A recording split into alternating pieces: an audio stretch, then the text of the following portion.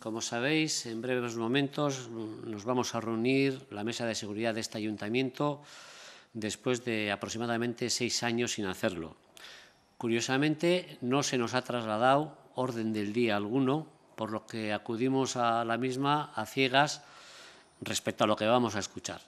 Ahora bien, Bildu acudirá con las ideas muy claras. En Bilbao el principal problema no es el problema de seguridad. Insisto, no es el problema, como si fuera el único. Y no lo asevera Bildu únicamente, lo repite insistentemente el concejal delegado de Seguridad Ciudadana y los informes estadísticos que periódicamente nos remiten. Y ciertamente nuestra percepción comparte dichos datos estadísticos. Bilbao es, si hablamos en parámetros homologables con otras ciudades, segura. Ello no quiere decir que no existan problemas puntuales de seguridad, fundamentalmente ataques a la propiedad privada y agresiones o violencia sexista contra mujeres. Vaya por descontado nuestra solidaridad con todas las personas, sobre todo mujeres, que han padecido tales ataques y agresiones.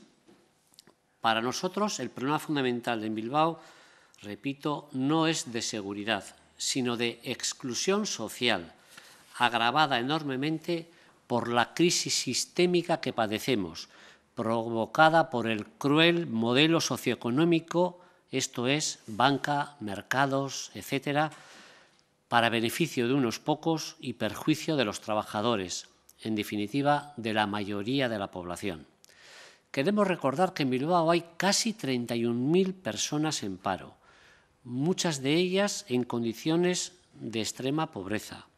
que hay cerca de 250 personas que viven en la calle y que se estima que hay otras 500 que sobreviven en pésimas condiciones en pabellones industriales abandonados, cuando hay más de 15.000 viviendas vacías en la ciudad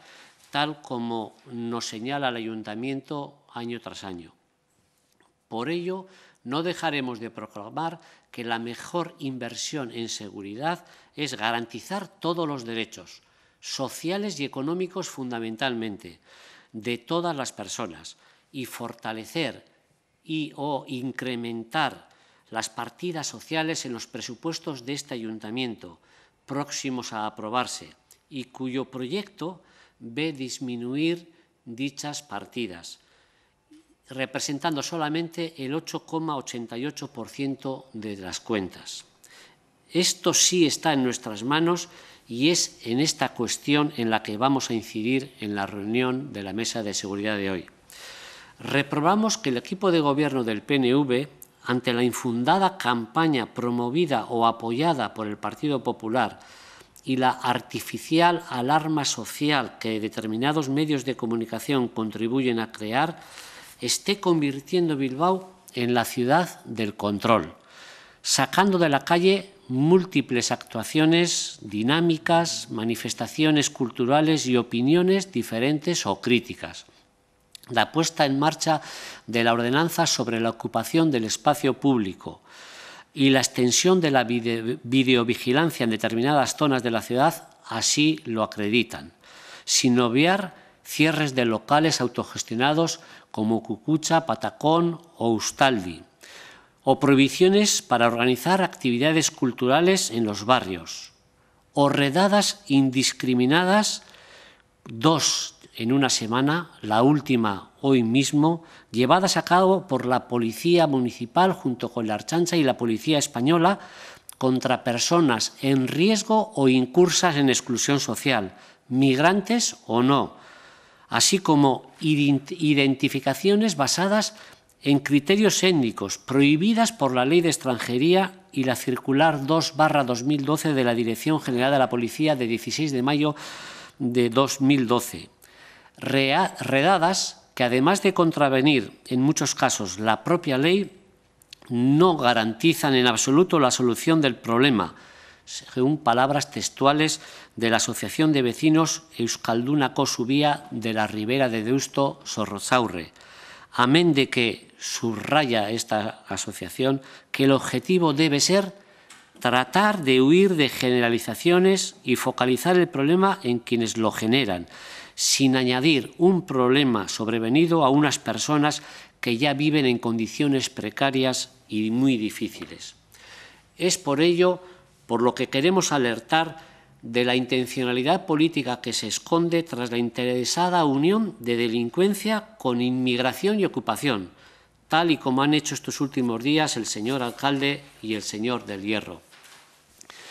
Todos estos hechos que hemos puesto sobre el tapete suponen una flagrante vulneración de derechos y libertades democráticos. Por ello, en la reunión que comenzará a las 12 de hoy, vamos a plantear lo siguiente. Primero, nos oponemos a que el equipo de gobierno del PNV haga un uso abusivo de la policía municipal tratando de equipararla en ocasiones con otros cuerpos policiales de carácter más represivo vamos a proponer que se impulse una policía local cercana a y al servicio de la ciudadanía, defensora de sus derechos y libertades.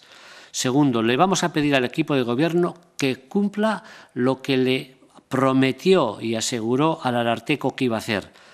que en futuras intervenciones policiales se le requerirá a los servicios sociales para que, en virtud de sus competencias, atiendan debidamente a estos colectivos y su vulnerabilidad social y la exclusión social padecida.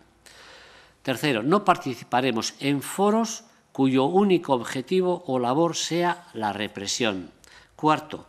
vamos a pedir medidas y acciones reales que tengan como objetivo atajar la exclusión social y cómo salir de ellas,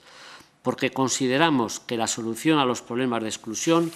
no es la represión, sino programas sociales, económicos, de prevención y educativos que promuevan el respeto y la igualdad, de modo que se garanticen todos los derechos para todas las personas, incluidos el de la vivienda. Medidas de inclusión social a favor de las personas desfavorecidas, justicia social en definitiva. Y quinto, pediremos el cese inmediato de las redadas indiscriminadas, porque tal como expresaba la citada Asociación de Vecinos, no garantizan en absoluto la solución del problema.